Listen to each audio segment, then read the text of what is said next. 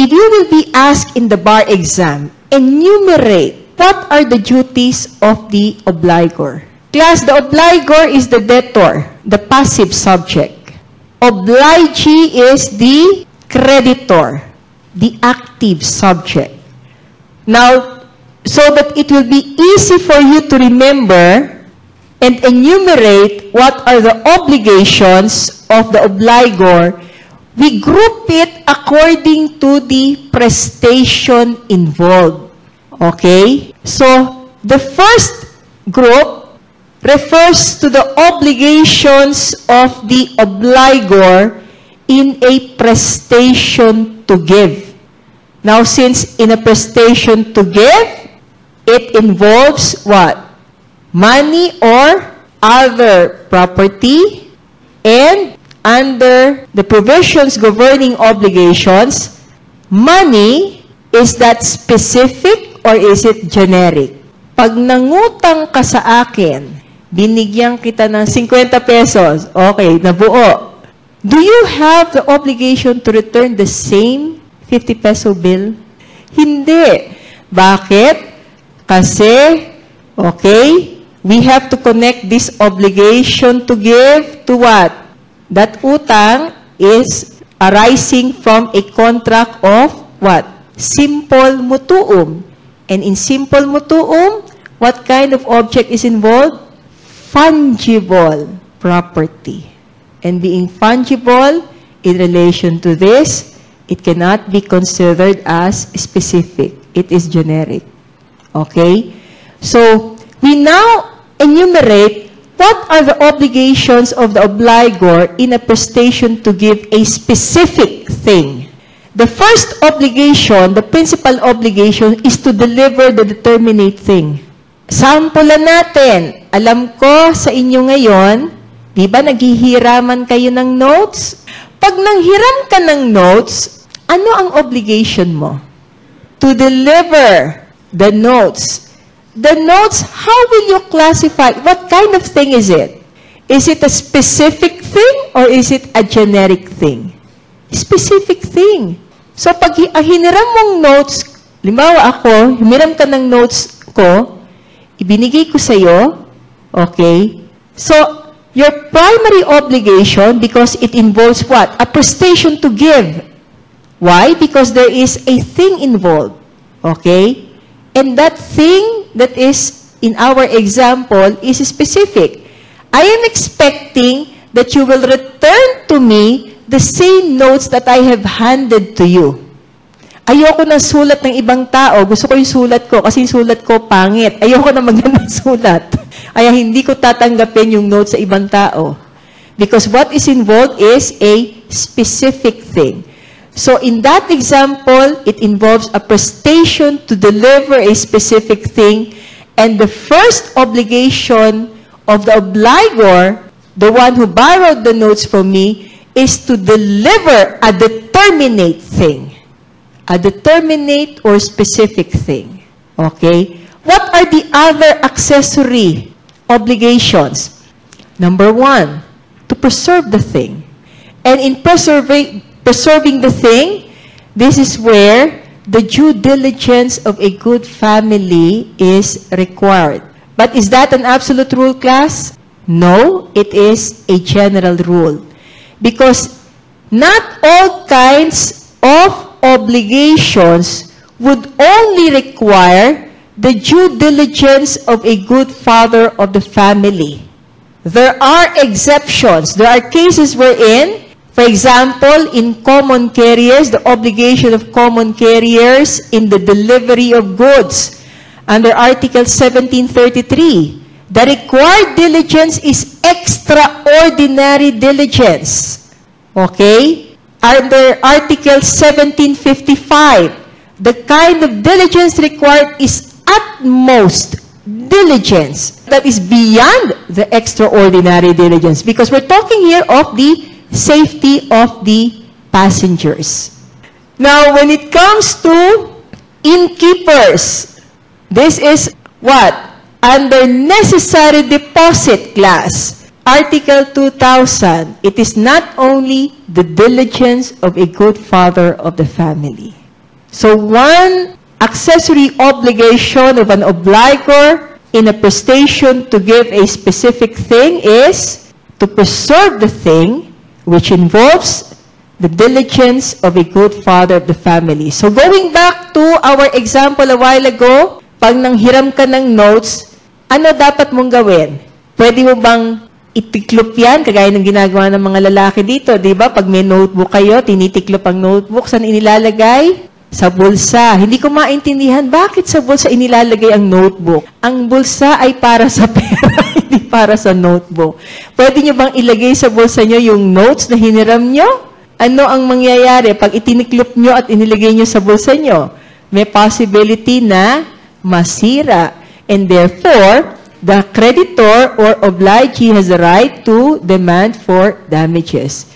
Because in that example, aside from your obligation to return the same notes, okay, which is the principal obligation, you have the obligation to observe the diligence of a good father of the family. But memorize what are the exceptions, meaning to say, it's not just an ordinary diligence, but extraordinary diligence. And as we have said, if it involves common carriers in relation to the safety of goods, it requires extraordinary diligence.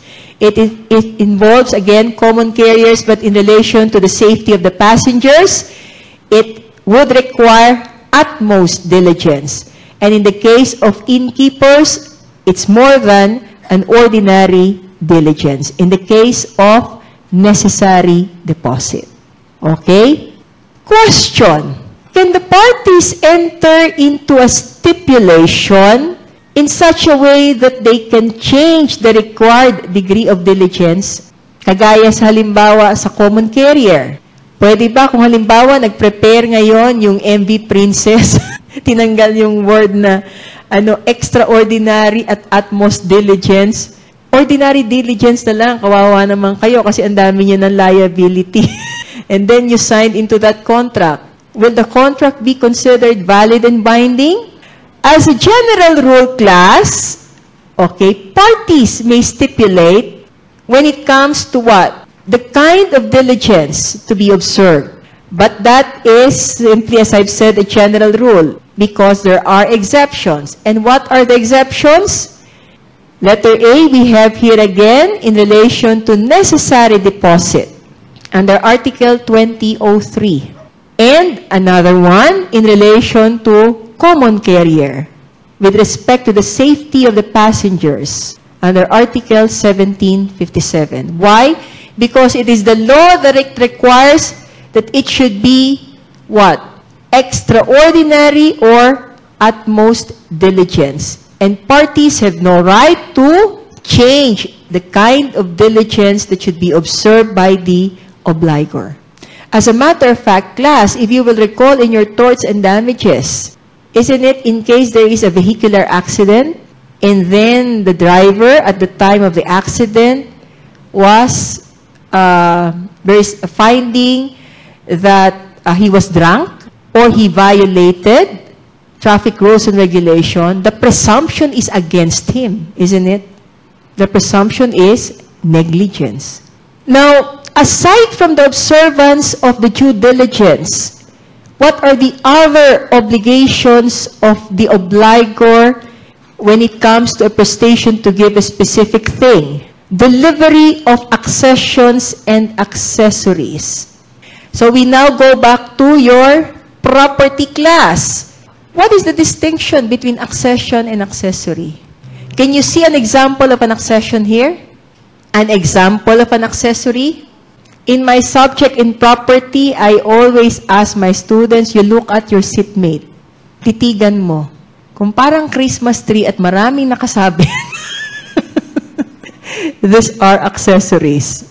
What makes an accessory different from an accession, my code for accession is what? A P. A-P-I. What is API class? Anything that is attached, anything that is produced, anything that is incorporated. This refers to accession. And regarding the word attach, the criteria there is if there is an attempt to remove it, it will cause injury. Okay? So for the meantime, we go to property so that you will be able to connect it with your obligation, the obligation of the obligor to deliver the accessions and the accessory. Class, I'm handling a bottle. Just to show you the distinction between accessory and accession. So, if I would like drink it, I just remove the cup. Question. The removal of the cup, does it cause injury to the bottle? Does it destroy the bottle? No. As a matter of fact, if I want to change it with another color of a cup, I can do it. Di ba? Bakit? Kasi this one, there is no accession. Although it is attached, but if I remove it, it does not cause injury. It will only be an accession if the moment I remove it, it will cause injury. And what is an example of that? I have here an eraser. And how many properties are involved in the eraser? Two. You have the foam and the board. Okay? If I detach it now, what will happen to the eraser? So that means it's very clear that if I attempt to remove the board from the foam, it will cause injury. Here, there is an accession. And relating it to our topic, obligation to deliver the accessions and the accessory. If originally, the obligation is simply what? Deliver the foam. Okay? Eh, nagkataon, merong malikot ang kamay sa bahay, idinikit ang foam sa board para maging eraser. Kaya kung titignan mo, pwedeng i-connecta nyo na kagad sa property, di ba?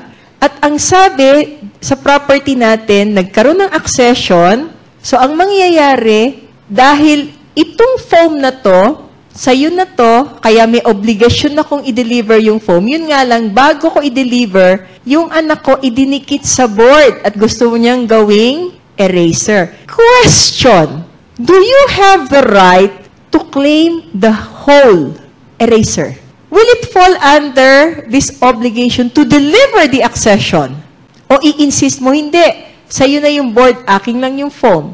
Kasi ang usapan natin, foam ang i-deliver mo. Specific thing. Yung foam na yan, yan ang gusto ko. Hindi pwedeng palitan. Will I also have the obligation to deliver also the board that is now attached to the foam? Class, remember in property, if there are two personal properties put together, the identity of each is retained. What kind of accession is this? Is it adjunction, conmiction, or specification? This is adjunction. Why? In adjunction, two personal properties are attached together, but the identity is retained. And since the identity is retained, and the removal will cause injury, who will now have a better right over this? What is the principal and what is the accessory? Is it the foam or the board? What is the first rule? in the determination of what is the principal and what is the accessory? Rule of, rule of importance. This eraser, which is more important? Is it the foam or the board? Makakapag-erase ka ba ng board lang? Di ba hindi? Pang-erase ng board, ano dapat gamitin? Foam. So according to the first rule, the foam is the principal, the board is the accessory. And connecting it now to our obligation to deliver the accession, so it, even if my only obligation is to deliver the form since the, co, uh, the board is already attached to it, I have the obligation to deliver to you the entire property. That is the meaning of this. But class, this is an example of an accession involving a personal property. What about an accession involving a real property. What is the accession under real property class? So, sa real property, DFA, ano yung DFA? Accession discreta referring to fruits. DF. Discreta F, fruits. A, accession. So pag dinifa, pina, tinanong sa inyo, what is accession discreta? Recall, DFA, not Department of Foreign Affairs, but discreta fruits accession. So accession discreta refers to the three fruits. What are the three fruits? You have the natural fruit, the industrial fruit, and the civil fruits. So again, in relation to this obligation to deliver accessions and accessories, if what will be delivered is an apartment that is for lease, so aside from delivering the apartment, the rentals derived from the apartment will also have to be included. Because rentals are considered as civil fruits. If what will be delivered is what? A lot wherein there are fruit-bearing trees. At nagkataon, ayan na yung bunga, namumulaklak na, may mga bunga na yung ibang parte. So aside from delivering the lot, you also have to include the accessions. And what are the accessions there? The fruit-bearing trees. Halimbawa, bumili ka ng aso. Okay, yung pagdog na yan. Nagkataon is buntis. Kasama ba yung puppies? Pag i-deliver mo, yung, yung aso na binili mo, what does the civil code provide? You deliver the accessions and accessories to the obligee, provided that, what? From the time the obligation to deliver arises, kung nagkaroon ng fruits, at the time the obligation to deliver arises. Ibig sabihin, kung ngayon, o limbawa, sa linggo ko ako mag-deliver ng binili mong puppy and binili mong aso, sa linggo pa talaga dapat ang deliver, yung obligation ko to deliver it is on Sunday, ngayon nang, nanganak yung aso. Kasama ba yung puppy? Hindi. Di ba? Kasi ang sabi ng batas, accessories and accessions will be included provided that they are what? They are attached, produced at the time the obligation to deliver arises. Okay? Kasama dito, halimbawa, bumili ka ng lupa, di ba? Tapos nagkataon pala, yung lupa na yon nagkaroon ng accession through what? Alluvion. At saka isa, avulsion. When you talk about avulsion, it refers to identifiable portion of a property that is now attached to your property. While alluvion, referring to an identifiable portion, which, because of the movement of the water, they are now, what? Grouped together and attached to your real property. Okay? These are accessions. Accessories have two meanings in property. Number one, accessory per se refers to an ornament. Kaya nga, di ba, sabi ko sa iyo, tignan nyo ang kaklase nyo, ang katabi mo. At kung may maraming nakalagay dyan, kung yung saan po pwedeng pagtusukan, tinusok-tusukan, and then later on, tanggalin mo yon tignan mo kung durugo ang ilong, durugo ang tiyan. Di ba merong nakapasok ngayon minsan pati sa puso, ano? So pag tinanggal mo yon dudugo ba puso? Hindi. Because that is simply an accessory, an ornament. In accessory, although it is attached, once it is removed, it will not cause injury. Okay? That is the first definition. So, yung mga may headband, may salamin, accessory nyo lang yan. Okay?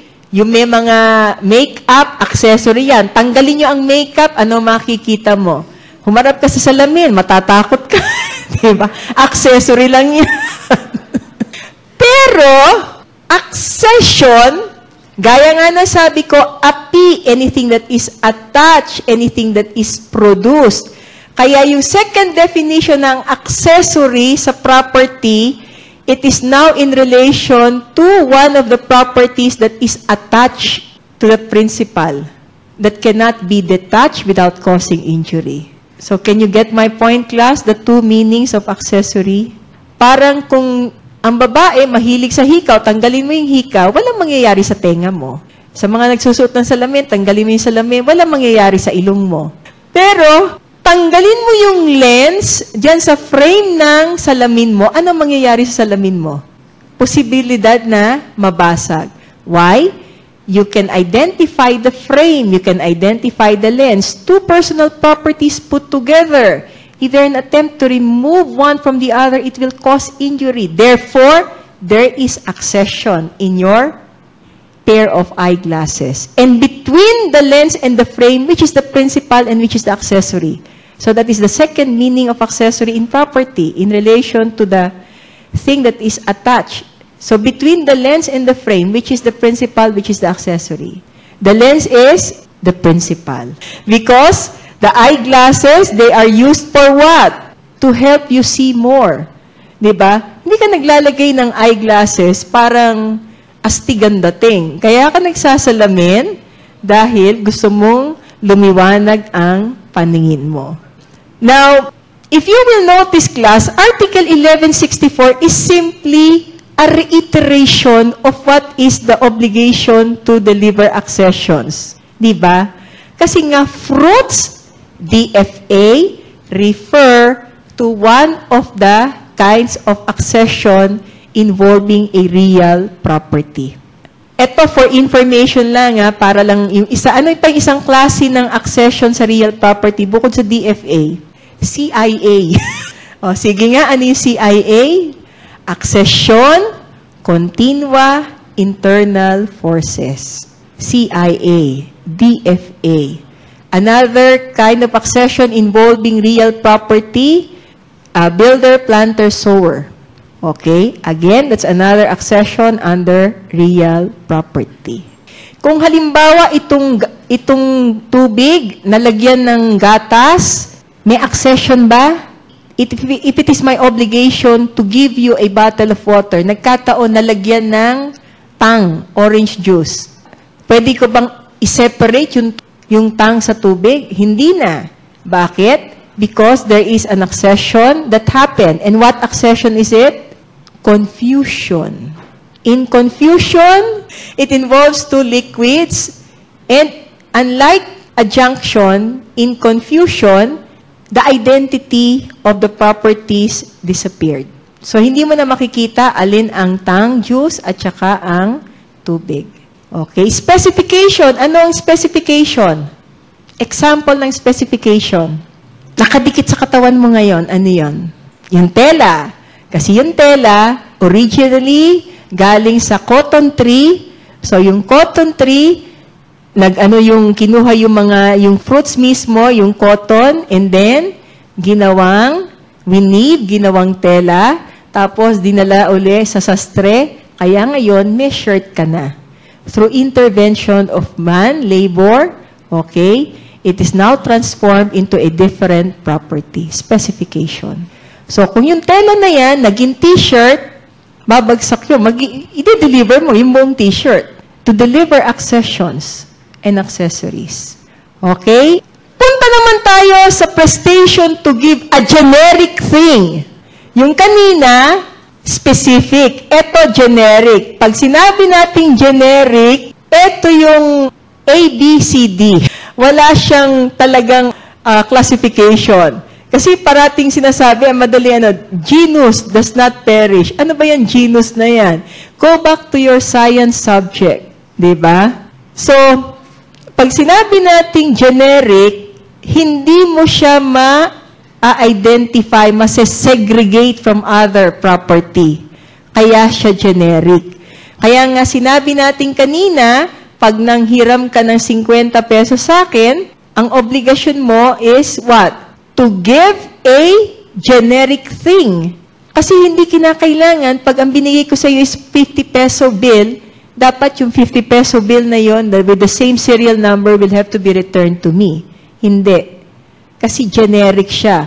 So, kahit na tig sa 10 piso, tig 20 pesos, tig 10 centimos, basta maibalik yung total na 50 pesos. So, if you will notice the principal obligation of the obligor, if it involves a prestation to give a generic thing, is deliver thing of the quality specified. Same quality lang. Quality specified. Which, if you will go back to the classification of properties, we're talking here of a fungible property, isn't it? fungible property. The same kind, same quality. Do you have the obligation to deliver the accessory? No. Bakit? Because we're talking here of an indeterminate thing. So, hindi sigurado kung may magkakaroon siya ng accessory o accession. Kaya kaliwa, hiniram mo sa akin. Bumili ka ng loto, nanalo. O, pwede ka ba sabihin, uy, yung panalo doon, accession yan. Hindi. Di ba? Ang ibabalik mo lang sa akin, yung 50 pesos ko. Yung panalo mo sa loto, wala akong pakialam doon. That is not considered as fruits. Okay, what about in a prestation to do? Just simply perform the act as promised and not substitute it. So kung nangako ka, nakakanta ka, kakanta ka lang. Huwag ka nang sasayaw. Okay? Unless, of course, again, by mutual agreement between the obligor and obligee, but that is more of an exception. And if, for example, you cannot do it because at that time, you are incapacitated physically. So you can ask somebody to execute the act, but at your expense, at the expense of the obligor. But this will not apply if the qualities of the obligor are considered. So kung halimbawa, ang maggagawa ng prestation to do ay Gary Valenciano, hindi po pwedeng kumanta si Gary Valenciano at nagka-sore throat. Hindi naman po pwedeng pakantahin kita in of Gary Valenciano. Di ba? Because there, we considered the qualities of Gary Valenciano. It is something that is personal. Pero kung halimbawa, pinto-pintura lang, now the painter is incapacitated, I can ask you to do the job, but at whose expense? At the expense of the obligor. Okay? Prestation not to do. Ano, principal obligation ng debtor dyan? Of course, not to perform the conduct prohibited.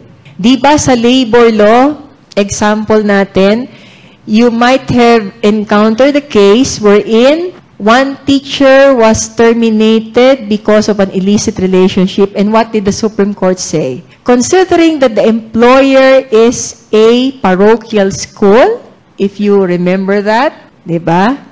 That can be a ground for termination. So, in other words, what is the prohibited act there?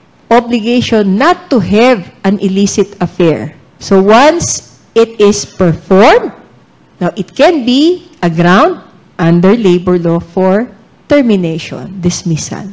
Now, if debtor does what has been forbidden, then it has to be undone again at the expense of the debtor.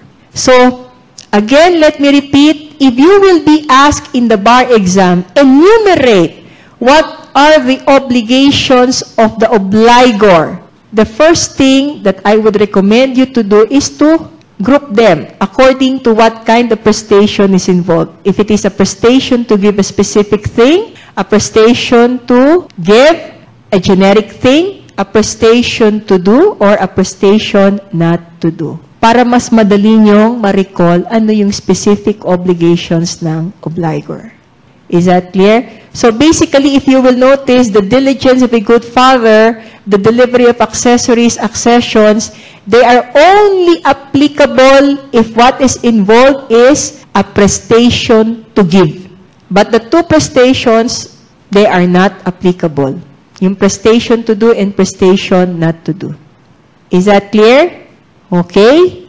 We now go to delay. Usually, there is a question regarding delay. But then again, this question, if ever it is asked, it is in relation to an obligation arising from a contract. Now, class, another word for delay under the Civil Code is mora, and that is failure to perform the obligation in due time. And usually, if it is an obligation arising from a contract, that is with during the time specified or agreed upon by the, by the parties. If it is an obligation arising from law, then that is based on what is provided under the law. Example, payment of your income tax. Hindi ba? May specified date kung kailan ang filing ng income tax. Pag hindi ka nag-file, anong mangyayari sa'yo? Patay ka, may penalty ka. If you will be, for example, notarizing a deed of absolute sale, there is a period within which to pay the capital gains tax. Hindi na sinasabi ng batas na, oh, you, you, uh, you go to the BIR and haggle with the BIR. Mahirap makipaghagil sa BIR. Pag sinabi, eto batas, within 60 days, pag nanotaryohan na, you have to pay the capital gains tax. Otherwise, you are considered in delay. Okay? Now, what are the different kinds of delay or mora? You have the mora solvendi, mora accipiendi, and compensatio more.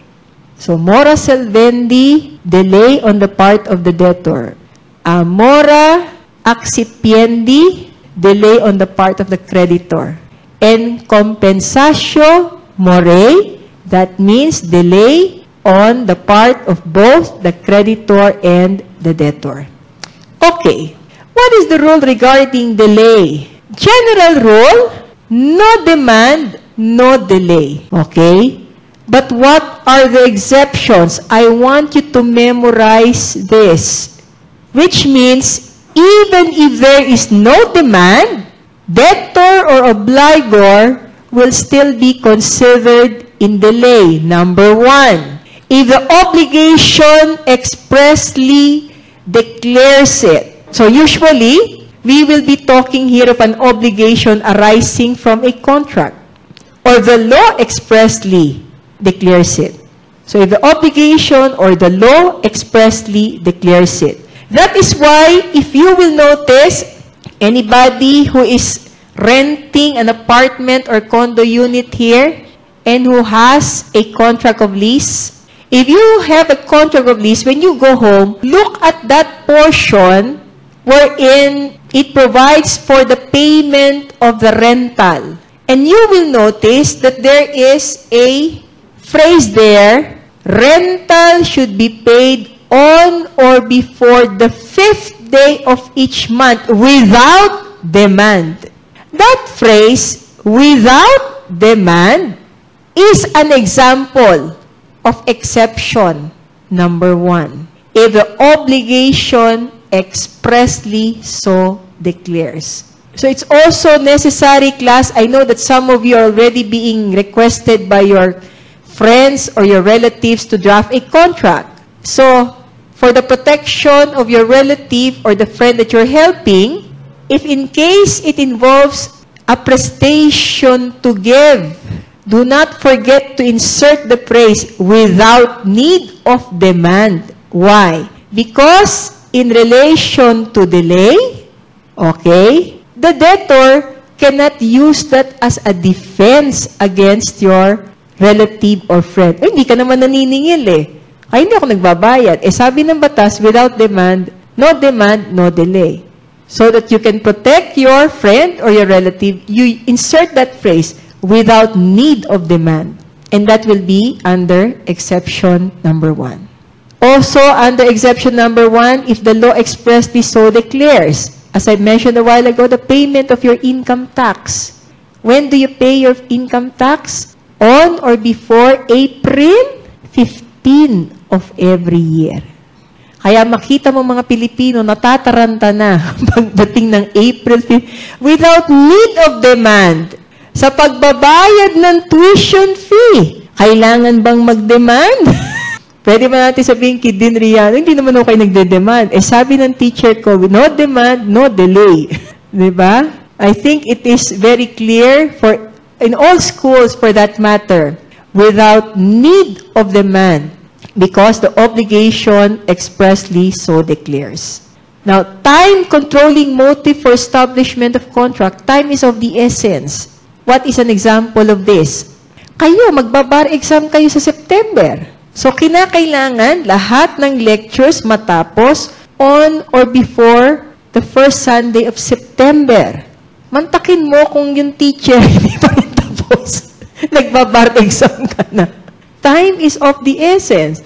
O halimbawa, yung mga ikakasal, di ba? If you decided to rent a car, you don't need to call and inform, uy, kailangan dumating ka na rito, tumatagaktak na, na natutunaw na yung makeup ng bride, hanggang ngayon di ka pa dumarating. Time is of the essence. O kaya, umorder ka ng cake, ba? Wedding cake. Pwede bang sabihin ng ano, hindi ka nag-demand, so hindi ko dineliver ang wedding cake? Eh, kaninong wedding mo ibibigay yan? Determinate yung ano, yung cake, di ba? Specific yun, hindi yung generic. Dahil nandun pa yung mga, ano nyo, ah, yung sarili nyong, may kanya-kanyang style ang mga ikakasal eh. This morning, I received one invitation because I, I will be one of the ninangs of my former student-in-law.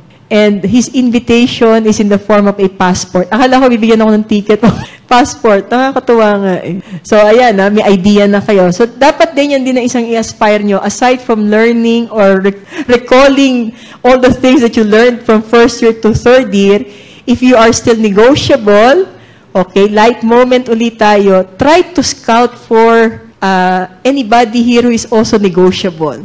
Diba? At least, pagkatapos ng bar exam, tuloy-tuloy na sa simbahan. okay. The third one, demand would be useless. Now, what about in reciprocal obligation?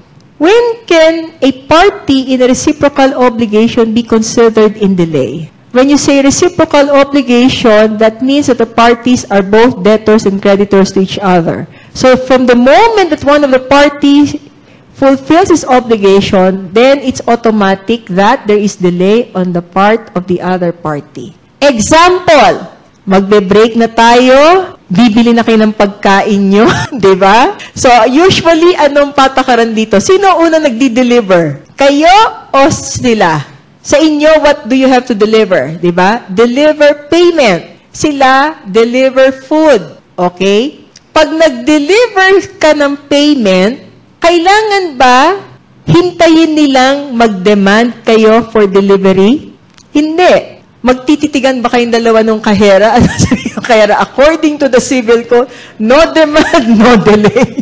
Sabihin mo, this is an obligation arising from a contract and the obligation involved is a reciprocal obligation. And since I already handed to you my money, automatically you are in delay. Siguro pag sinag sinagot mong gano'n yung tindera, baka masampal ka. But we are just trying to apply what the provision is telling us. Okay? In case of a reciprocal obligation, the other party will be in delay from the moment one party has already fulfilled his obligation. Is that clear? Other possible question that might be asked in the bar exam has something to do with fortuitous event. Now, the fortuitous event can be an act of God or it can be an act of man. So, an example of a fortuitous event is the Typhoon Ondoy that happened in the Philippines. An example of an act of man, rallies conducted by uh, a certain group. Okay? Now, what is the relevance of the fortuitous event in relation to the obligation? It might affect the performance of the obligation. And that is the reason why, as a general rule, in case there is a fortuitous event, the obligation is extinguished. So that means debtor is released from his liability, whether it involves a prestation to give or a prestation to do. So what could be the best example that we can give? So as I've said, during the typhoon Ondoy, everybody was surprised when water, especially in Metro Manila, it immediately increased in volume. So if at that time, let us say that Juan de la Cruz had the obligation to deliver the uh, cake, wedding cake. Now, we said a while ago that demand is not necessary for the delivery of the wedding cake because time is of the essence. But can Juan de la Cruz be liable for damages in case he failed to perform his obligation to give, which is the delivery of the wedding cake, for as long as there is no fault, there is no negligence, no delay on the part of Juan de la Cruz, because of the happening of a fortuitous event, his obligation is extinguished. So this fortuitous event is usually one of the defenses being raised in case there is an action for damages that is filed against the obligor defendant. because there is a fortuitous event. But as I've said, it is not an absolute rule that for as long as there is a fortuitous event, the obligation of the obligor is extinguished. Why? Because as enunciated by the Supreme Court in the case of Lassam versus Smith, although this is a very old case, but still, these are the requisites so that the fortuitous event can really be considered as a basis for relieving the defendant or the obligor from any civil liability. And what are these requisites? First, it is independent of the human will. The human will there is referring to the will of the defendant obligor. Okay? Second, it is impossible to foresee, or even if it can be foreseen, it is something that cannot be avoided. That is what happened to Typhoon Ondoy. Although there was, I think there was already an advice coming from Pag-asa, but even Pag-asa was surprised as to what would be the effect of the typhoon in the Philippines. It is something that cannot be avoided. Okay? Third, because of this fortuitous event, it is impossible for the debtor to fulfill his obligation in a normal way. So balik tayo sa cake, kung, nung, um, kung sa normal way ng delivery ng cake, dapat nasa truck siya, di ba? Eh dahil nagkaroon ng dagat sa Metro Manila, nasa speedboat yung cake. Because of that fortuitous event, the obligation cannot be performed by the obligor in a normal way. And finally, debtor has no concurrent fault. And when we're talking of the concurrent fault of the debtor, it refers to what? He was not in delay, he was not negligent.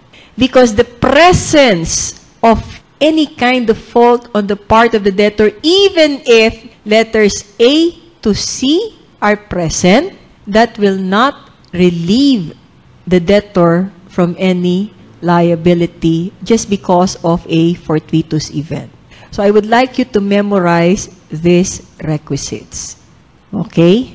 So here are the exceptions that in spite of the happening of the fortuitous event, debtor can still be held liable. Number one, if there is a law that expressly provides for it, and I would like to call your attention, take a look at Articles 1942. It refers to the liability of a bailee in a contract of comodatum. And the law is very clear that in spite of the happening of the fortuitous event, Bailey can be held liable. Okay? Who is the Bailey in commodatum? The Bailey is the one who is the borrower. The bailor is the lender. Okay? Under Article 2001, the thief or the robber in a hotel, again, this falls under necessary deposit. But there is an exception here. If there is the use of arms, okay, that's the time that the hotel, the innkeeper, can be relieved from liability. In case of officious manager, this is in relation to your partnership under Article 2147. Again, in, even if there is fortuitous event, according to the civil code, he cannot be relieved from liability. Letter B, if it is expressly stipulated by the parties. So that means this will only be possible if we're talking of an obligation arising from a contract. And that will be your role because as I've said, right now, even if you're not yet taking the bar exam, I know that you're already helping your relatives in drafting a contract. So, if you are lawyering, let us say, if you will be asked to draft a contract, for as long as it is favorable to your client, you include this provision that in spite of the happening of the fortuitous event, the obligation of the other party will not be extinguished. Because that will fall under the second exception that the, the fortuitous event will not extinguish the obligation of the debtor. Although, of course, if you are lawyering on the other side, that will be unfavorable to you. Now, what you have to do is keep on what? Asking for the deletion of that provision. and usually, you will notice, this happens if we are talking of a contract of adhesion. Tingnan nyo yung mga kontrata na prepared na, nakalagay yan, na kahit na may fortuitous event, obligation will not be extinguished. So, ang gawin mo naman, i-insist mo, hindi. Always invoke the general rule that if there is fortuitous event, for as long as there is no fault on the part of the debtor, obligation should be extinguished. Okay? Assumption of risk. Take note here, I've cited two cases involving a contract of construction. And take a look at Article 1717 and 1724. Because of course, there's too much risk involved in a construction. So pag nahulugan ka ng hollow blocks, itinataas yan ng ano, hindi mo pwedeng sabihin, uy, humangin ho, nagkaroon ng fortuitous event.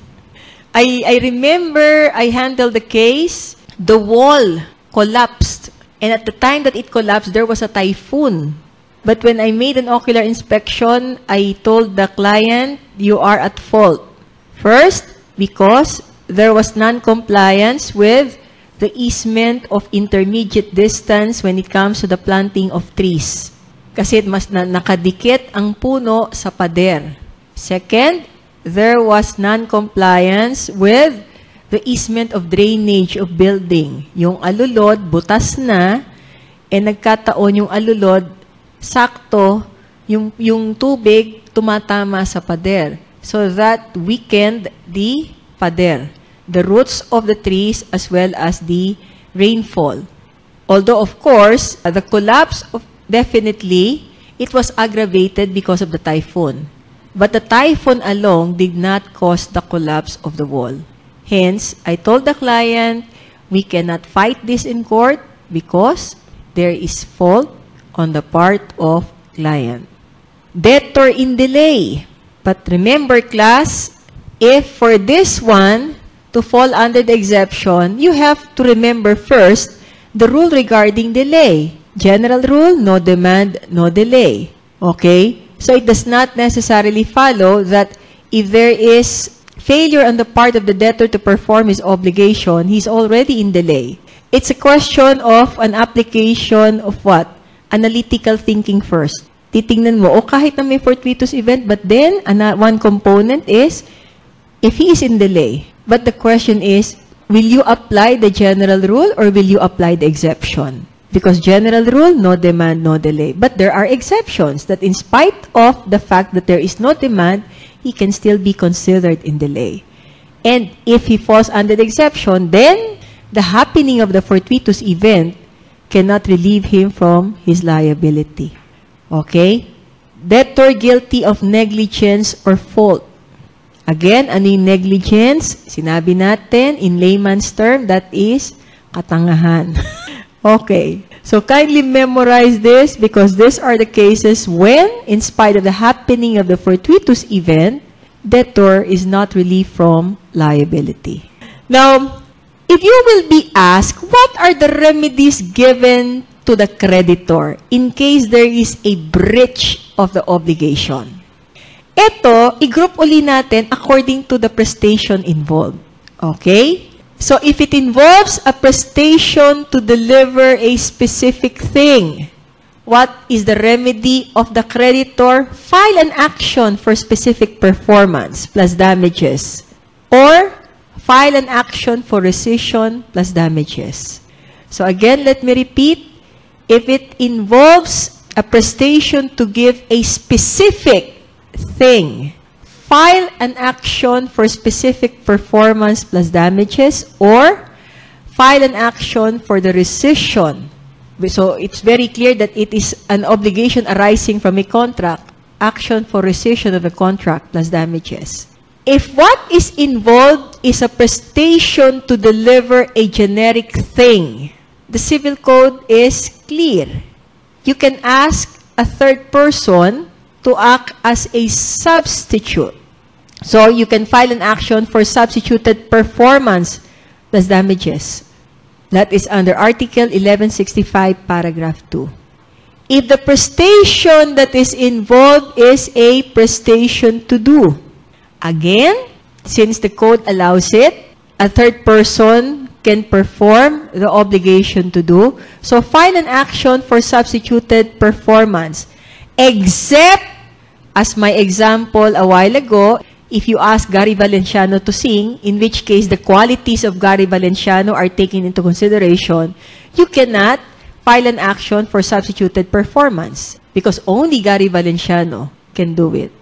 So what could be the remedy? Action for damages. Okay?